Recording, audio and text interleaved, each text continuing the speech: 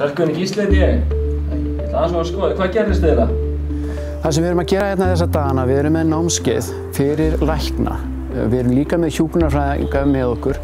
Þetta eru læknar sem er í, í sérnámi hérna á Íslandi, er að byrja sitt sérnám og það sem við verðum að kenna þeim er að það verður að kenna þeim að taka móti fjölsljósuðum einstaklingum. Skoðu þetta líka að tala við mig. Þetta er algengasta dánarásök uh, ungsfólks undir 44 ára gammal er slís og uh, þarna að tala sama tungumálið þannig að allir vinni í teimi að þá verður maður einhvern veginn að vera mjög samstiltur. Ok, glæsilegt.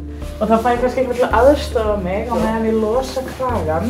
2014 þá byrjuðum við með þessi námskeið hérna, þetta er einu sunnu ári og síðan þá er þetta núna í fymta sinn og uh, það sem við erum að gera, við erum mentað starfsfólk, lækna og uh, núna erum við komið með sérnámið.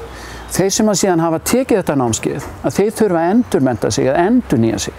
Þannig að þetta er stöðu endurnýju líka og þá getum við haldið svo kallar viðhaldskúsa eða viðhaldsnámskeið sem eru stittri.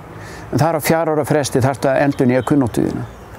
Og uh, þetta er námskeið sem við vorum að vera að kenna núna í 40 ár í, í, í núna, þetta árið.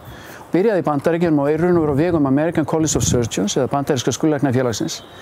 Það sem að þróa hreinlega kerfi sem er mjög einfalt tungumál við hvernig við gerum þetta, hvernig við metum sjúklingana og, og hvernig við meðhandlum þá.